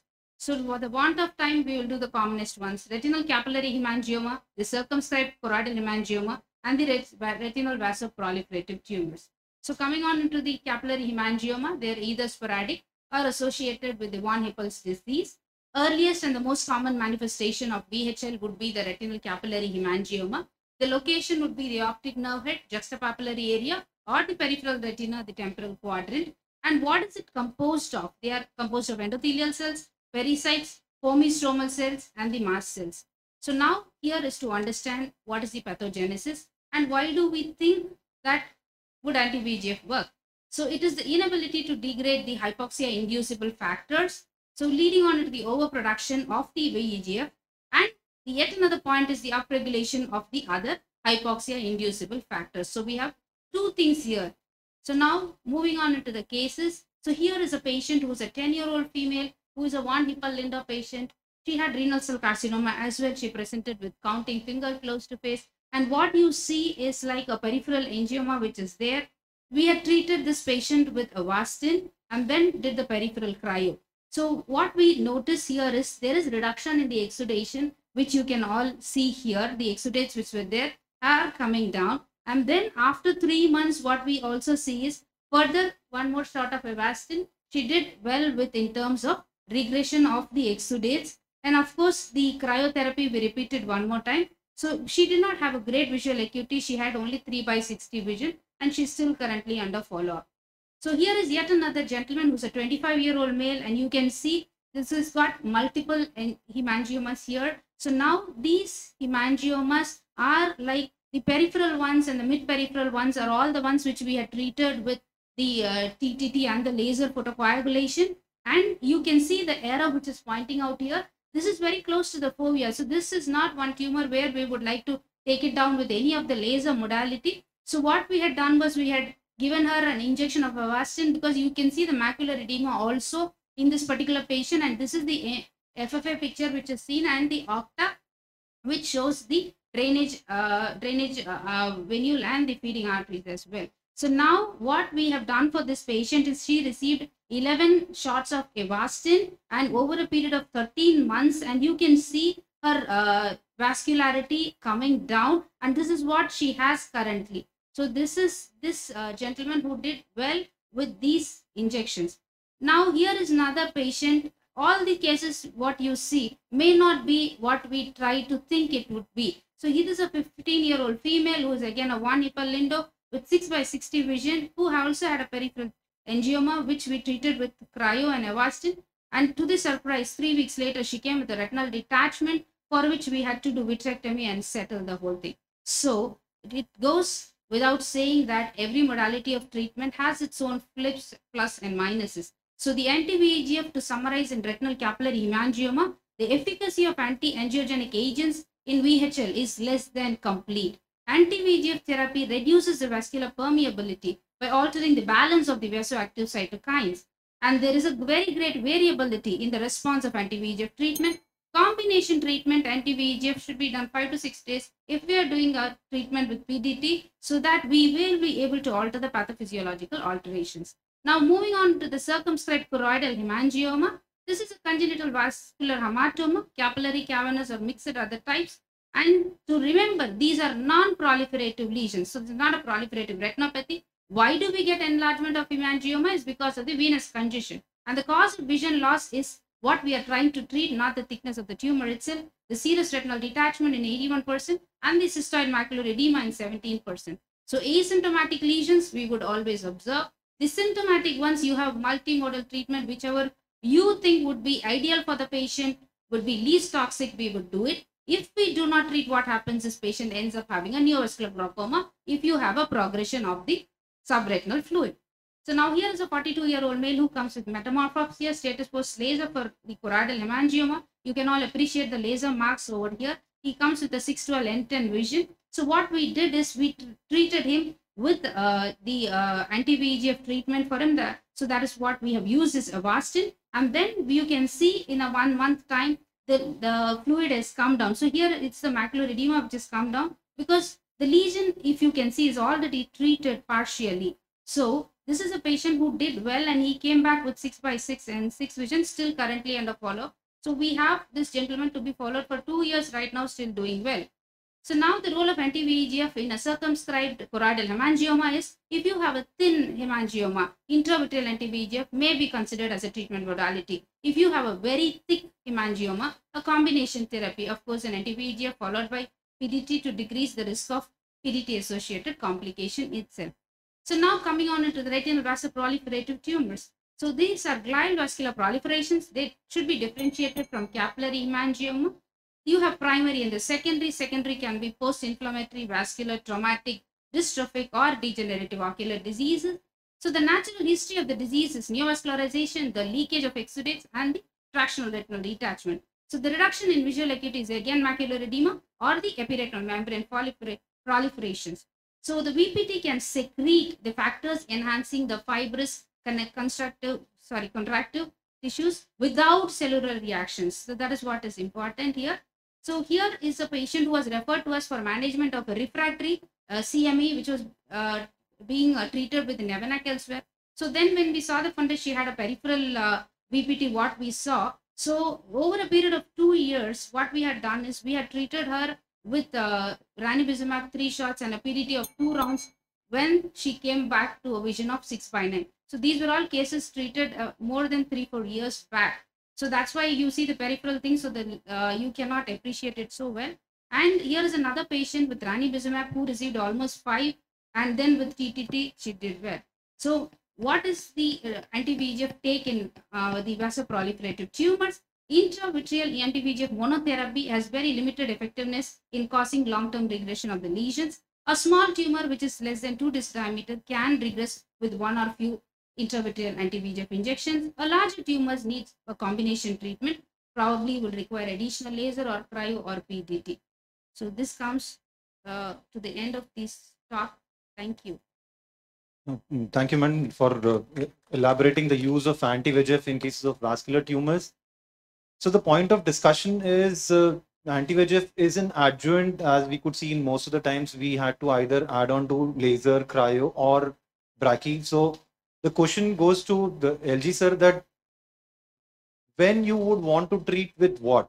If the means whether what cases laser would be a better option versus cryo or any other option for brachy like a, a VHL lesions or a, a capillary hemangioma lesions, what we see. The first thing we to understand is that VEGF is liberated by most of those tumors, but not necessarily the cause of the tumors. In other words, VEGF doesn't produce the tumor, but the tumor produces VEGF and it produces a lot of secondary effects. Yes, I did see that tumor shrunk a little bit with anti-VEGF, but that is that doesn't always mean that uh, you can just treat with anti-VEGF and expect all the tumors to go away. It doesn't happen. You have to destroy them with some destructive measure and the type of destructive measure used depending upon what is easiest to apply in a given situation. All tumors, you obviously try to do with laser. And it's a large tumor, probably it's easier to freeze the entire tumor with cryo rather than with laser. Sometimes the surface gets treated, but the, the core tumor may not get treated. If it's a hemangioma, probably you do only PDT rather than direct laser. I think it would depend upon what kind of situation you're looking at. And brachytherapy is always available when these are not effective and it's a little larger than that when you use a block therapy. But I think it's a question of deciding on a given eye. It's not a standard answer. It's not a norm, yeah. So I would like to add a point that most of these dictating things are itself the thickness. So that is what Height would of the tumor, dictate- what you're yes, That is height. what will decide what mode of therapy you would want and the location. And the Yeah. SR, yes. And the other things which, so you want to add? I just wanted to ask. Okay. So I wanted to ask MPS sir that whether there would be some more adjuvants you would want to use in these cases and what would be that kind of cases? Like my question is indirectly meaning either a buckle Yeah. or a vitrectomy or because if if those kind if we are uh, sending an uh, word to the audience, what would be the cause of caution?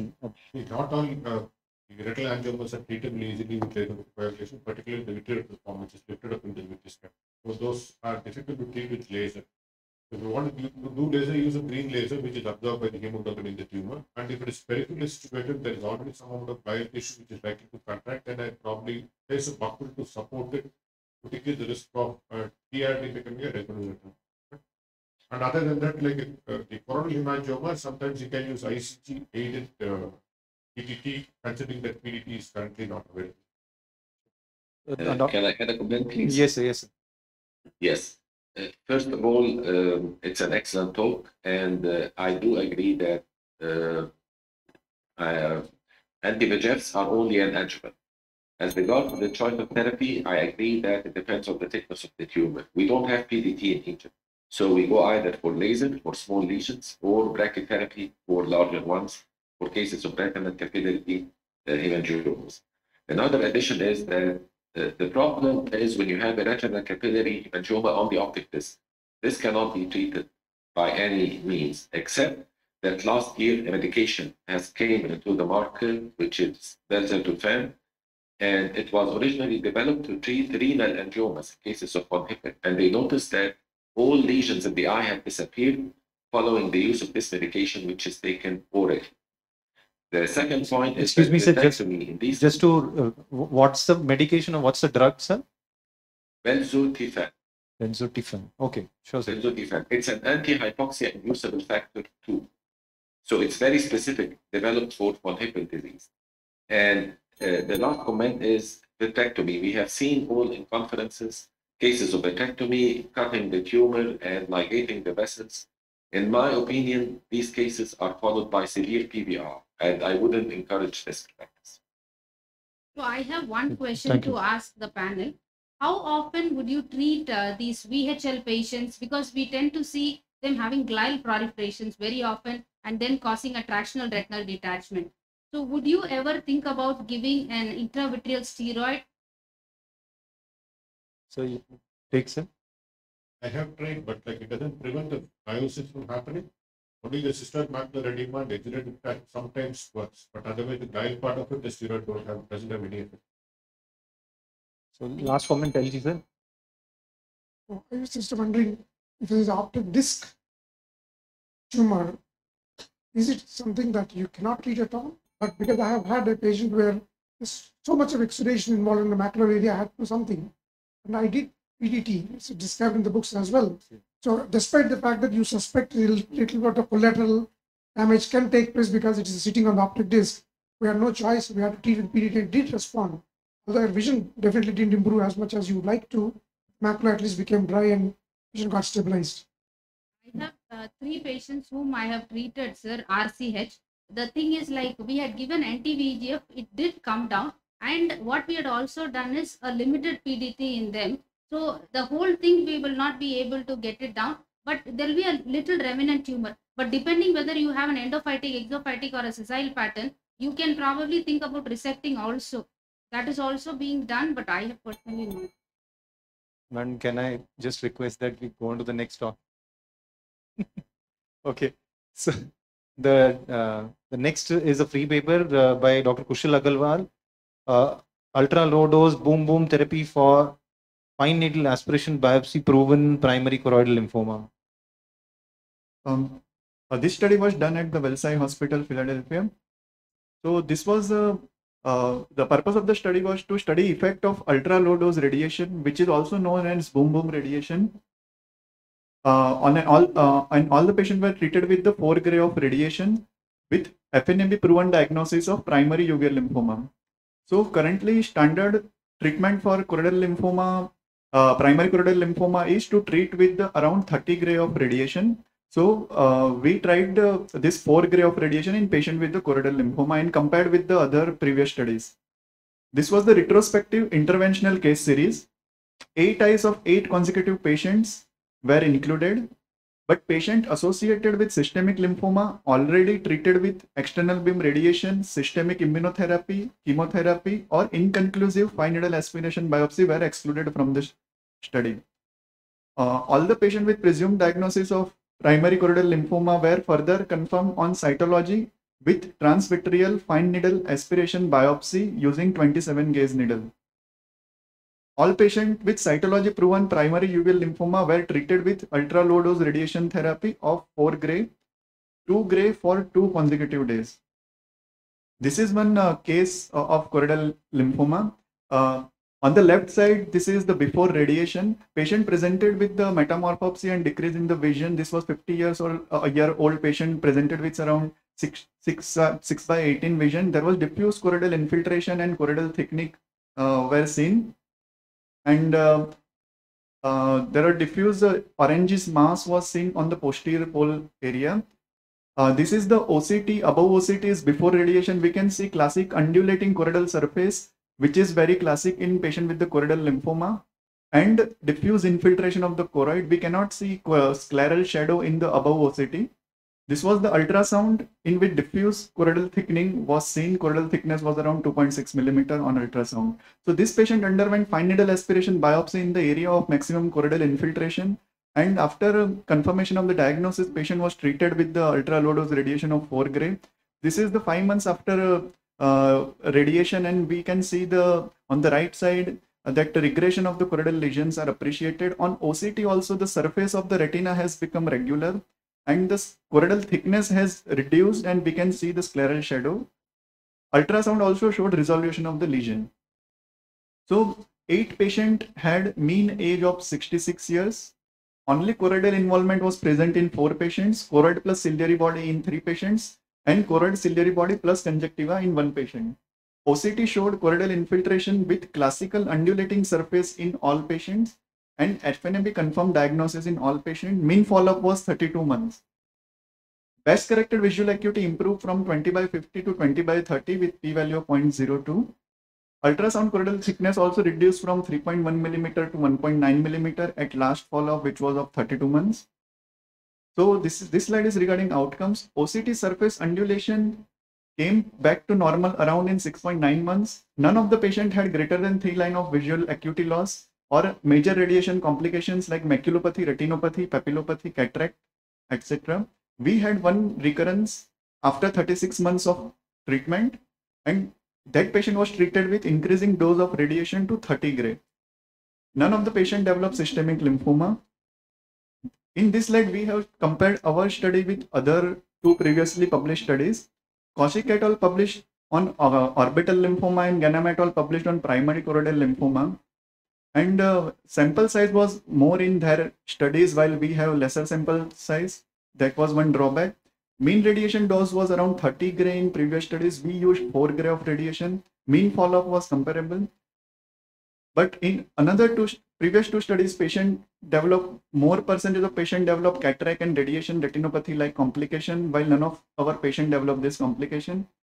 Vision deterioration in Ganem reported 24% of the patient had vision loss post radiation, and they concluded chorioretinal atrophy could be the major cause post radiation for vision deterioration.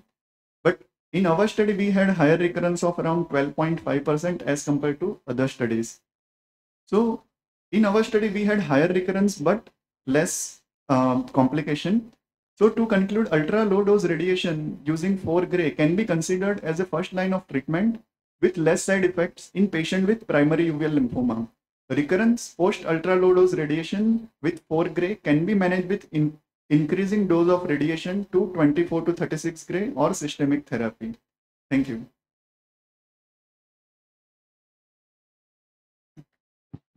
Thank you, Dr. Kushal. So, the, any any points of discussion from the panelists of uh, use of low boom boom radiation? So, you want to comment? It's uh, conventionally used for orbital lymphoma, malt lymphoma, and the only problem that we are facing is it has a higher chance of recurrence. About one third of patients recur in three to five years. So those are selected out for a higher dose of radiation, obviously. So I think that you're seeing the same trend in choroidal lymphoma as well. So, sir, what is your primary management in orbital, primary orbital lymphoma? Like what? Primary orbital lymphoma, obviously, we do an incisional biopsy, confirm the diagnosis, do a systemic evaluation. If the patient just has it confined to the orbit, there is no lesion anywhere else, then low dose radiation. If the patient has systemic manifestations, then rituximab based chemotherapy. Low dose radiation means how much you use 4 gray only? Or No, I'm, I'm actually currently trying out uh, boom boom radiation that because that is considered one of the you know standards of care now, at least in the West, going low on the radiation to reduce side effects. Okay, thank you. So, thank you, sir. And uh, I would ask Dr. Sabina to take on the podium on the other side. Dr. Hani, do you want to comment, or LG sir, Mahesh sir, or Suganeswari madam on this? It's a very interesting, I mean, the modality of treatment with low complications. What I may suggest, I mean, for the author, why not to repeat this low dose radiation, even for cases that have not recurred after six months or a year, and then see if the recurrence rate would hold. Yes, sir, definitely could be trying long term uh, study. Repeat boom boom. Boom boom and boom boom. Yes. Thanks. sir. Okay. So, Dr. Sabina, uh, Sabia Ahanda. So, the uh, topic of presentation is uh, submacular hemorrhage displacement using subretinal TPA and air versus subretinal BSS solution and air, a comparative study. Please. Very good evening to everyone. Uh, so this is the title of my paper and I would especially like to thank my teachers Dr. Mohit and Professor Ramandeep Singh for helping me in carrying out the study. So submacular hemorrhage as we all know can occur secondary to wet AMD, PCV, myopic CNV or retinal artery macroaneurysm and the natural history and visual outcome of submacular hemorrhage is typically poor and it carries a grave visual prognosis and early displacement from the macular area is recommended in order to restore useful vision. And various techniques have been described for the management of large submacular hemorrhages, ranging from surgical evacuation, intravitreal gas TPA to partial vitrectomy with subretinal TPA. However, at the time of planning the study, there is no consensus or treatment guidelines regarding the optical, uh, optimal management. So the aim of our study was to study the role of subretinal balance salt solution as a substitute to TPA in the management of large submacular hemorrhages. So uh, the primary objective of the study was displacement of hemorrhage at one and three months from the baseline. And for the purpose of study, the fundus was divided into four zones as we can see here. And the secondary objective was change in BCVA from baseline within each group and between two groups at three months. So the complete success was defined when there was displacement of bleed both from zone 1 as well as zone 2. So the inclusion criteria included the submacular hemorrhages secondary to various etiologies and with size at least 4 disc diameter with height at least 250 microns and the duration of hemorrhage was taken to be less than 14 days. So this was an ambidextrous, non-randomized intervention study, and our patients were divided into two groups. Group A, uh, the patients underwent 25 gauge PPV with induction of PVD followed by injection of 0.3 to 0.4 ml of TPA and 0.2 ml of air with partial fluid exchange, 20% SF6 and heads-up positioning. And in group B, the entire procedure remained the same. The only change was that instead of subretinal TPA, a subretinal BSS was used. So these were the results. The 10 eyes were included in group A, that is TPA group, and 10 and 11 eyes in group B, that is the BSS group. And the most common cause of hemorrhage was PCV, followed by neovascular AMD. And the average size of submacular hemorrhage in our study was 6, uh, six disc diameter. So the majority of eyes, both in group A and group B, had the extent of hemorrhage in zone 1, 2, and 3. That is, they were extending beyond the arcades up till the equator. So this was the primary objective. Complete success, that is the hemorrhage would be uh, displaced from zone 1 and 2 in 9 out of 10 eyes in group A and 9 out of 11 eyes in group B. And the, there was significant improvement in visual acuity in both the groups, both at 1 and 3 months. And the improvement in visual acuity was comparable between both the groups. So coming to uh, one case example of group A in which subretinal TPA was used, this was 65 years female with PCV, and we can see that there is uh, displacement of bleed from the macular area. And one case example from the BSS group, here we can see that this is a male uh, who had a retinal artery macroaneurysm, and there was displacement of bleed from the macular area, and the visual acuity improved significantly. So to conclude, plana vitrectomy with injection of subretinal balanced salt solution and air, followed by fluid exchange and SF6 is effective in displacing large submacular bleeds in eyes presenting within two weeks and is comparable to TPA. The strength of our study was that we could quantify the extent of submacular hemorrhage by dividing into zones. However, this was a retrospective non-randomized study with a small sample. So uh, thank you, Dr. Sabia. Very nice presentation. And uh, so, any any comments by the panelists, uh, Dr. Hamza, whether you want to comment? Uh, well, it's very interesting. I mean, to because many of my colleagues were using also subretinal BSS and they were reporting that it is effective. But this is the first study to show that it is equally effective to the TPA. My concern actually is not about the solution, it's about the subretinal air. I stopped putting subretinal air in these cases as I had some complications uh, in some of the cases with macular holes and so on. And I didn't find the difference as well. But very nice presentation, in fact. Thank you. Thank you, sir. Sir, Can I ask, uh, instead of TPA, has anybody tried streptokinase or urokinase? Because that is it's much cheaper. That's it.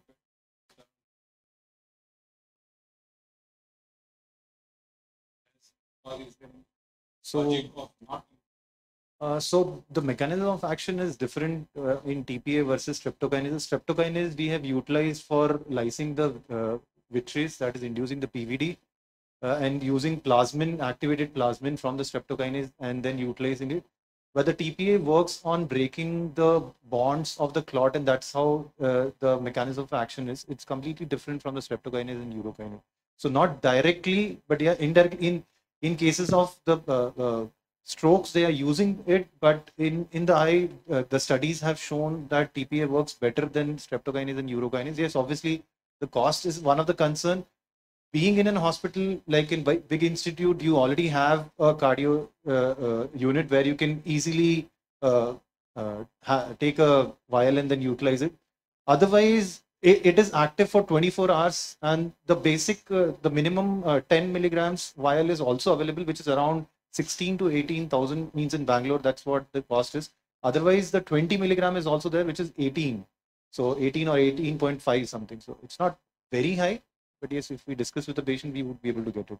Yeah, Mechanism comment. of kinase in uh, we don't use it directly. we It's only it the back. activated The plasma. dosage was a concern. I think Pradeep, we had a discussion about uh, whether he wanted to know whether we can use it. I think you have done some research Yes, on. sir, like, uh, Is it it's in literature? there are- review? like I just want to make a point. There has been like uh, experimental studies evaluating uh, uh, clot lysis uh, by streptokinase and they have shown like uh, it do work well and the penetration into the subretinal space has been documented to be reasonably good but ERG has shown some amount of uh, toxicity at a higher uh, uh, dosage. But whatever we have used till now for vitreolysis is actually um, less like whatever we have used is almost uh, uh, quite lesser than whatever is described for the described to cause any damage. And whatever they have shown is the sufficient to clot lysis. That is something which is more than that is actually we are using for vitreolysis there i still think that we are utilizing only the activated plasmin, so not the direct streptokinase. we will inject streptokinase whatever it is finally streptokinase is injected into the eye and that and even lesser concentration than that has been shown to lyse plot in the vitreous cavity Okay, so any more comments, sir? Thanks, Pradeep. think the, the dose of subretinal TPA injected in your study is rather high because it comes to 0.1 ml having 12.5 micrograms into 0.3, which is into three times, almost coming to 40 micrograms. In intravitreally, originally we were giving 50 micrograms, but we cut it down to 25 micrograms because 50 micrograms also has been causing changes of retinal necrosis. Subretinally, TPA is only 5 to 8 micrograms is dosage. We're not supposed to cross beyond that. Just to the authors, that what is the uh, rationale behind using saline versus air? Is that the control of injection, or is that the compli They have not used TPA in one group, they use TPA in one group and found it not likely to be the same. air, subretinal air versus? No, no, no. They have used TPA with air in one group, no TPA, only saline in one group, and Okay. found that it's equivalent. Okay. So the advantage is you don't use TPA at all. You get don't use. TPA. Okay, okay, okay. Sure. Thank you. Okay, so we uh, end the session with uh, 10 minutes of delay. So a little uh, boil down to uh, the keynote talk by uh, Dr. Santosh that how to differentiate vitreous seeds and uh, diffuse infiltrating retinoblastoma, which can present as anterior AC seeds and management would be different. Exudative detachment in cases of Coats disease versus retinoblastoma, as was suggested, the Coats disease would have more xanthocoria kind of an appearance and would have more dilated and tortuous vessels. And the blood vessels would go over it and not dip inside. If we see the dip, that is uh, a ret- retinoblastoma. And uh, other presentation was by Dr. Mohit, which was utilizing uh, pigmented lesions, how to differentiate CHRPE, chirp, and melanocytoma. So a lot of different uh, distinct, discussion happened on how, in what cases surgery would be indicated. So the ideal cases would be peripapillary and extra mac, extra foveal, which would have a better visual prognosis. But otherwise, if it's a, a hamartoma, the chance of visual improvement is lesser. The next presentation was by Dr. Kalpita, which was CAR-MAR dilemma and diagnosis. So it's the CAR and MAR is diagnosis of exclusion, where the CAR and MAR has to be uh, ruled out, and the first primary diagnosis would be either AIR, that is autoimmune retinopathy, and uh, systemic uh, uh, malignancies to be ruled out either by a, a oncologist uh, physical examination or by getting a, PET scan. Uh, the next presentation was by uh, Dr. Vishal, the great masquerader lymphoma. Yes, lymphoma is a very uh, great masquerader, so it can be cases of non-responsive, non-responsive uveitis, either anterior, posterior, or you can have uh, just thickened uh, choroid where it may be only the choroidal involvement or a vitreous involvement where you may have uh, waxing and waning kind of a presentation. The treatment was discussed that diagnostic biopsies are important to confirm the diagnosis and most important how to take the uh, uh, uh, uh, the sample by having a lesser cut rate and uh, very important to how to fix either we were we were discussing using alcohol which is not ideal but the ideal would be in saline or either the media which is presently not very easily available in India. Uh, the diagnosis and the further treatment was utilizing intravitreal chemotherapy or has been discussed that there can be boom boom radiation or there can be double boom boom. Uh, the next discussion was if I've invaded an eye with a tumor, what to do. If it's a retinoblastoma, then ideally counsel the patient and then start the further treatment like uh, uh, chemotherapy and external beam radiation with enucleation or exenteration, depending how extensive the uh, spread is. In cases of melanoma, as was discussed, that uh, if you are doing a surgery of a case of melanoma, ideally is to uh, do a drainage or non-drainage or put in oil and then assess further and then take a call what has to be done. Uh, but as you were seeing that not everyone is very comfortable of using a vitrector to remove all the melanoma, which is an endoresection. But yes, uh, it is right now in vogue. Uh, the next presentation was by Suganeswari madam, which was about vascular tumors in anti-VEGF. So anti-VEGF is a supporting therapy, but yes, depending upon what kind of vascular tumor is, it may require further management like either laser or uh, uh, uh, or brachytherapy or uh, PDT or cryo if it is in periphery. And in certain cases where you see that there is some fibrosis or scarring, in those cases, we may need to add the supportive buckle element or do a vitrectomy. Thank you. Thank you. Yeah, th- thank you, Dr. Hani, for uh, uh, attending us virtually. And uh, obviously, you. we would meet uh, in person next time, hopefully. Thank you Thank again. you so much. Thank you. Bye bye. Thank you.